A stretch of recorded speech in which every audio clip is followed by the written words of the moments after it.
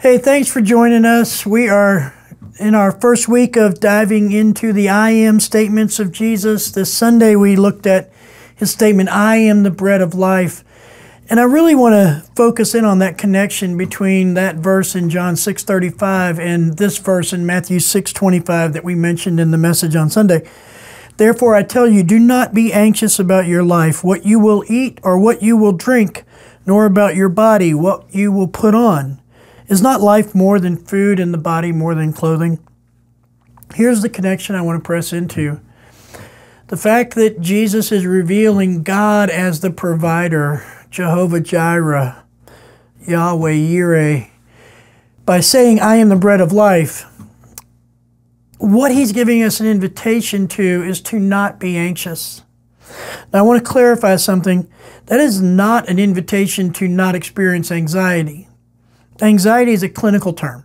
Anxiety is a product of something that, that's in our fallen psyche, in our fallen bodies. Um, anxiety is something that oftentimes we really can't control. We can seek to get help with. But when Jesus says, Therefore I tell you, do not be anxious about your life, what the invitation is there is to live a life that relies on God's provision for our life, our, our bios, our, our physical life and free us to focus on the one thing we have to invest in, the one thing that we have to engage and steer, and that's that's the state of our soul. And so the invitation when Jesus says, "I am the bread of life," is the invitation to accept that God is the provider of all that we need. Now that goes to another level of what's the difference between a want and a need, and and that's something that is a little more complicated in our modern world you know, I, I, want money, but I also need money because the economy of this present age is that without money, I don't eat and I need food. So, so there's primary needs, secondary needs. And I'm going to push that to the side for a moment to really zone in on this idea, idea of, therefore, I tell you, do not be anxious about your life. See, here's what's going on. When we accept that God is our provider, that He is that Yahweh Yireh, the one who provides for us, then we actually can live without being anxious for our lives. Now, being anxious for my life is not the same as experiencing anxiety. Anxiety has clinical roots. Anxiety has roots in our fallen nature, in our, our fallen uh, body chemistry at times, variety of other things that are fallen. But because God is our provider, then we actually have the choice to not be anxious for our lives.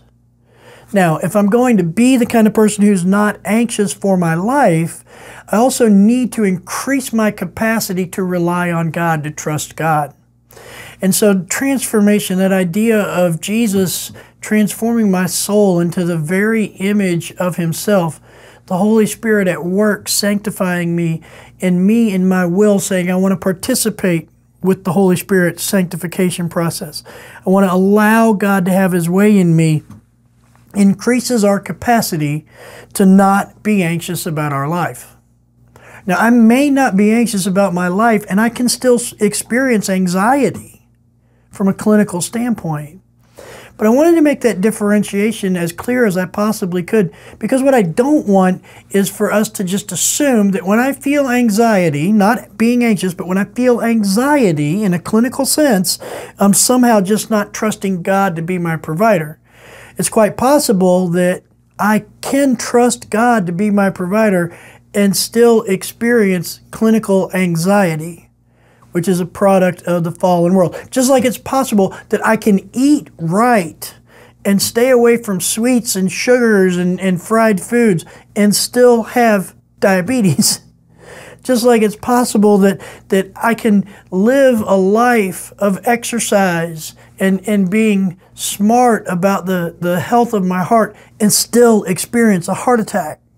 So, so I hope that helps you see that when Jesus says, Therefore I tell you, do not be anxious about your life, he's not saying that if you experience anxiety, you have a faith issue.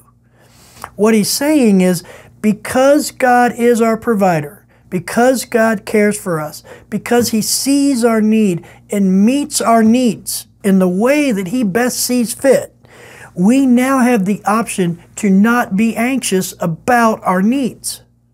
We now have the option to not be anxious about what I'm going to eat or what I'm going to wear. And that's a big, big difference than, than feeling anxiety. So ultimately, as we recognize that God is our provider, hopefully what we're doing is taking that knowledge, taking that insight, taking that understanding, letting it become an experience of God as provider through our prayers for provision. Being able to go to God when I have a need and saying, Lord, this is my need. Not just a physical need, but a spiritual need as well.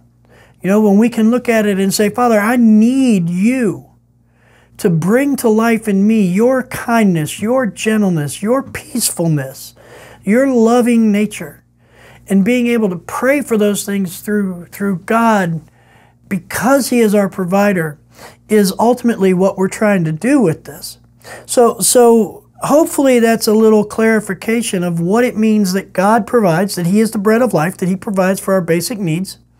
And with that, we can understand that I don't have to be anxious about what I'm going to eat for dinner, but I still might be anxious about what I'm going to eat for dinner that I don't have to be anxious about how my needs are going to be met, my physical needs, but I still might at times feel anxious about that. And that that feeling of being anxious or the absence of being anxious over my needs being met isn't the same thing as anxiety that tends to, to rise up in our fallen nature and is actually honestly a state that many people of great faith actually find themselves having to live in. At that point, I would say it's probably more of a cross of being fallen that we have to carry than it is a lack of faith that we're experiencing consequences of. So, all that to say simply this God is our provider. He meets our needs. And you think about in Matthew 6, where Jesus talks about the, the, the birds of the air and the flowers of the field. What he's trying to tell us is that God is a God of life and he will sustain life. He'll sustain our lives. He'll meet our needs. So we now have the freedom to trust God to, to provide for our physical needs, which allows us to say, I'm going to be concerned with the life of my soul above the life of my body. I'm not going to be a person who goes into physical self preservation, who, who makes the highest priority the things that will bring me life or comfort in this world. I'm going to be a person who relies on God to be my provider for those things so that I can lean on Him to meet my spiritual needs, so that I can participate with the Holy Spirit doing a work of transformation in me so that I can become who He made me to be in my soul, so that I can live the very life of Christ.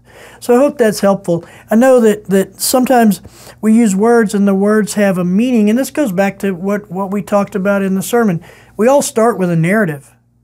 And so what I want to do is I want to clarify my narrative of this is not around anxiety, it's around being anxious. And my narrative says anxiety and being anxious are not the same thing. With my clinical background as a counselor in the field of psychology, to me, anxiety is a clinical term. Anxiousness is a life issue. It's something that all human beings experience. And through the statement in John 6:35, I am the bread of life, Jesus gives us something we can lean on that can actually take us out of feeling anxious over our physical needs being met by increasing our capacity to understand that God is the provider of our physical needs. So I hope that's two things. I hope that's clarifying. I also hope it's helpful. But um, I want to encourage you to have a conversation in your group time now as you go into your discussion about what are the things that you trust God to provide and what are some things that you still think are yours to provide? How can you move to a place of the things that you view as yours to, to bring to realization in your life? Basic things. How can you move to a place of trusting God to provide those things? And when you move to that place, how's your pathway? What's your plan to focus on the Holy Spirit working in your soul and participate in that process? So have a great time in your group. I hope it leads to just fruitful discussion with a lot of openness and transparency, and most importantly, connection and community. Let me pray for you before you go into that time. Father, we're just grateful that you're our provider, that we can come to you with every simple, mundane need that we have, knowing that it's your delight to provide for our needs, and that it's your desire that providing for our needs frees us to focus on the needs of our soul, the spiritual needs. And that highest spiritual need, the greatest need of our soul, is relationship with your Son.